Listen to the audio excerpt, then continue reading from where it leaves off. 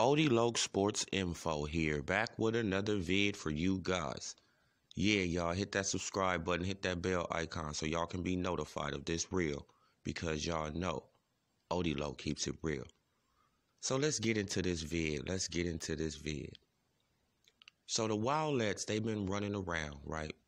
The LDBC cult members, right? They've been running around saying that Deontay Wilder is the A side, right, for almost a year and a half, right? They've been on the internet saying Deontay Wilder deserves 50 50. Deontay Wilder is the A side. Anthony Joshua and Eddie Hearn, they lowballing Deontay Wilder, you know, all this nonsense, right?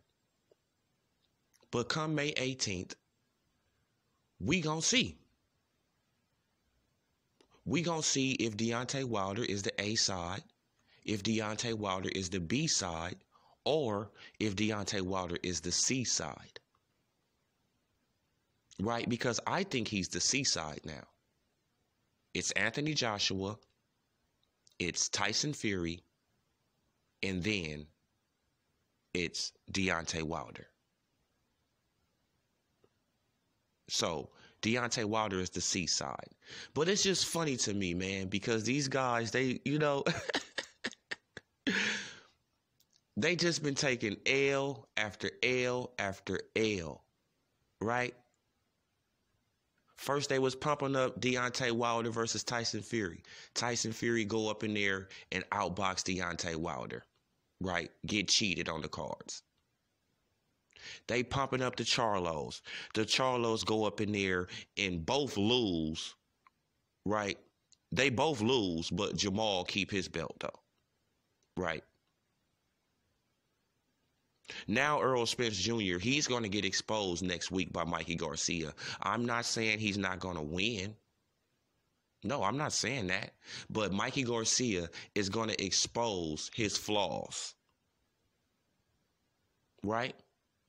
And now Deontay Wilder is trying to do a pay per view. And we all know it's going to flop. It's going to do horrible numbers because don't nobody know Deontay Wilder and don't nobody know Dominic Breazeale, right? Deontay Wilder is a little bit more popular than Dominic Breazeale, but not too much. So this just gonna prove what we've been saying, what I've been saying. Deontay Wilder is not a pay-per-view star and he should have took what he was given. That 15 million is looking real good to Deontay Wilder right now, right? Didn't they bump it up to 28 million? Right, that 28 million with an upside, with a rematch clause, is looking real good to Deontay Wilder right now.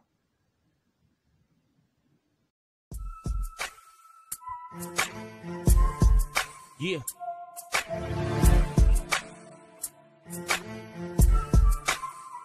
Uh-huh.